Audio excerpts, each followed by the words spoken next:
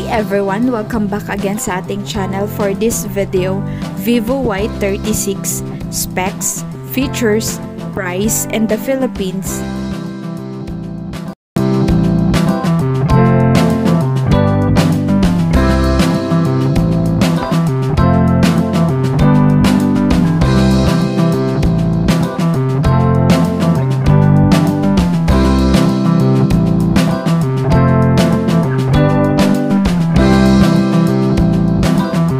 Vivo Y36 had a 6.64-inch Full HD Plus IPS LCD display with up to 90Hz refresh rate capability and to 40Hz gaming touch sampling rate.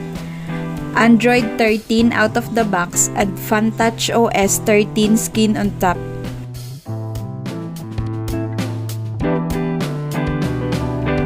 Equipped with Qualcomm Snapdragon 680 processor and Qualcomm Adreno 610 GPU, while the internal storage is to 56 gig plus up to 1 terabyte expandability and additional of 8 gig dynamic RAM expansion. Supports a 50 megapixel main shooter located at the back can shoots up to 1080p video recording at 30 frames per second. While for the front-facing camera is 16 megapixel, also shoots up to 1080p at 30 frames per second.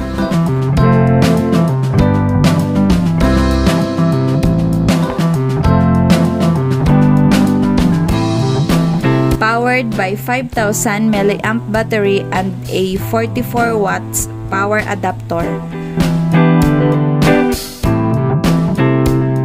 Available in two color variants, Glitter Aqua and Mature Black. Price starts at 12,999 pesos. Thanks for watching. Don't forget to like, comment, subscribe, and hit the notification bell button for more updates. Thank you. God bless you all.